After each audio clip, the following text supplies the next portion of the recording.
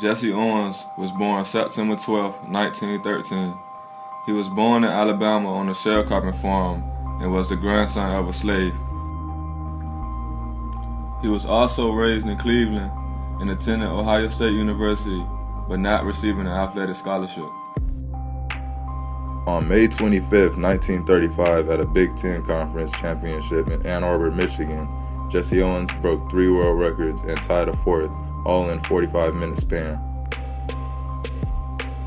In 1936, Jesse Owens attended the Olympics in Berlin, Germany, which was the capital of Nazi Germany.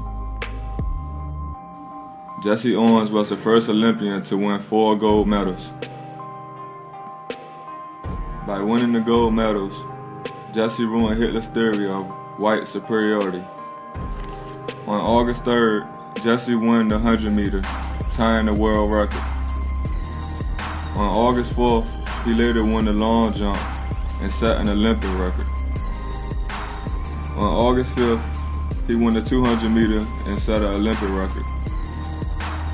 On August 9th, Owens ran the first leg in the 400 meter relay and set an Olympic and world record.